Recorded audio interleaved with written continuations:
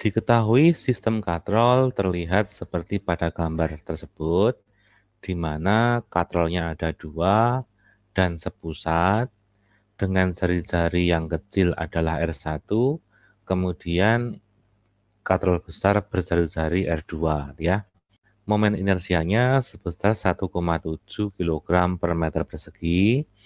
Masa benda pertama itu 1,8 kg dan masa benda kedua adalah 2 kg. Yang ditanyakan di sini adalah berapakah percepatan sudut dan yang kedua atau yang B tentukan besarnya T1 dan T2. Nah, langsung kita kerjakan saja dari yang A. Nah, katrol ini dia mengalami dua gerakan, yaitu gerakan translasi dan rotasi. Jadi kita hitung dulu untuk gerak yang translasi ya, gerak translasi. Supaya mudah tak hitung dari uh, benda M1 ya, M1-nya. Jadi untuk yang M1 itu kita pakai sigma F sama dengan M1 dikalikan A. Nah, F1 nanti sama dengan T1 dikurangi dengan W1 sama dengan M1 dikalikan A. Kok bisa T1 dikurangi W1 gimana mas? Nah ini ya. Jadi kita lihat dulu katrolnya. Katrol tadi bergerak ke arah sana ya, searah jarum jam. Kemudian kita lihat W1-nya itu ke bawah. Nah, kalau ke bawah sini kan dia uh, akan menjadi negatif karena gerakannya tali itu ke atas. Nah, ke sana kan gerak-gerak talinya. Coba bayangkan. Jadi gerakan katrolnya ke arah jarum jam, maka talinya akan bergerak ke atas. Tetapi W1-nya, ini W1 di sini, dia akan berlawanan. Tapi T1-nya akan searah. Nah, gitu ya. Maka T1 min W1 jadinya. Oke, kita teruskan. T1 kita belum tahu. T1 sama dengan M1 kali A ditambah W1. T1 sama dengan M1A ditambah M1 kalikan G. Gravitasi. T1 itu ternyata sama dengan A, kamu tambah dengan G, gitu kan, dikalikan M1. Nah, ini persamaan pertama. Kemudian kita lihat lagi benda dua ya, M2. Nah, untuk M2 ini caranya juga sama, kita pakai sigma F. Ya, sigma F. Sigma F sama dengan masanya kita ganti dengan M2 kalikan A. Oke. W2 dikurangi dengan T2 sama dengan M2 kamu kalikan A. ya.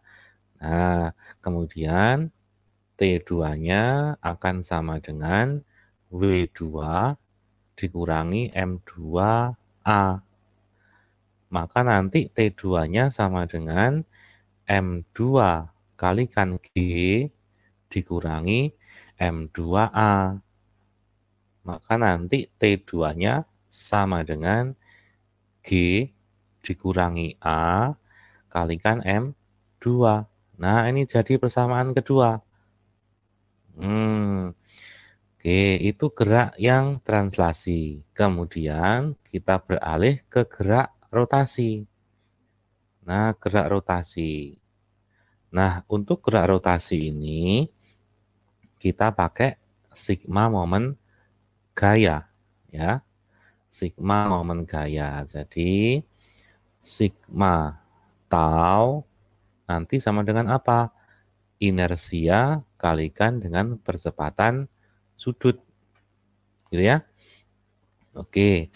Inersianya adalah T2 kemudian dikalikan R2 dikurangi T1 kali R1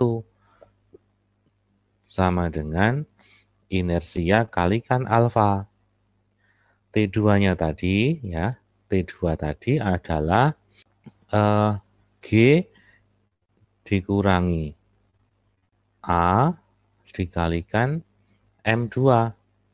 Nah, kalikan R2 gini ya. Dikurangi T1 tadi adalah A plus G. Kemudian dikalikan M1, R1 sama dengan inersia kali alfa. Nah, nanti kalau dihitung, ya dimasuk-masukkan gitu ya, eliminasi, substitusi, dan sebagainya, nanti ketemu. Nah, nanti ketemu. Kalau saya terangkan di sini nanti bisa dua hari dua malam. Nah, mendingan saya langsung tulis saja. Alfa nanti sama dengan uh, M2 R2 dikurangi M1 R1 dibagi uh, inersia ditambah dengan M1 R1 kuadrat ditambah M2 R2 kuadrat kalikan dengan G. Uh, Tinggal kamu masukkan angkanya ya. Alfa nanti sama dengan 2 kalikan 0,5 dikurangi 1,8 dikalikan 0,2. Yang bawah I-nya tadi adalah 1,7 ditambah M1-nya 2 0,5 kuadrat ditambah 1,8 kali 0,2 kuadrat. G-nya 10. Nah, nanti ketemu alfanya. Yang atas nanti kalau kamu hitung, ketemunya 0,64 dibagi 2,272 kalikan 10 alfanya nanti akan ketemu 2,82 satuannya radian per sekon kuadrat. Nah, itu alfanya. Kemudian untuk mencari T1 dan T2, kamu cari dulu A1 dan A2. Nah, A1 itu sama dengan alfa kalikan dengan R1. Berarti 2,82 nanti kalikan 0,2 ketemunya 0,56 satuannya meter per sekon kuadrat itu A1 untuk A2 sama ya alfa kalikan R2 sama dengan 2,82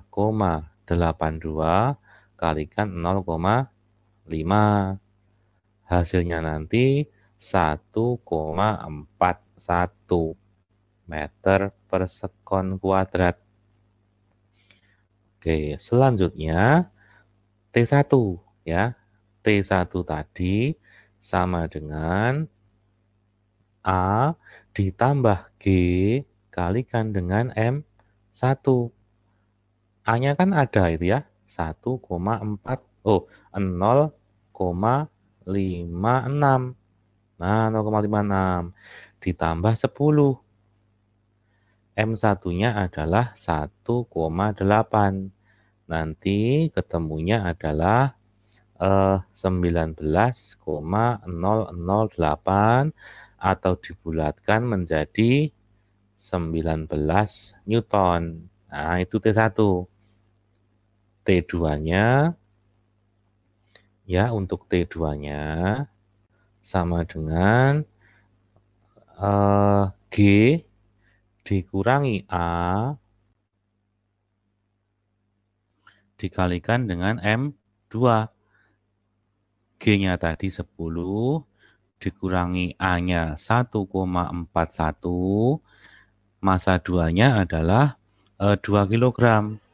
Nanti kalau kamu hitung akan ketemu 17,18.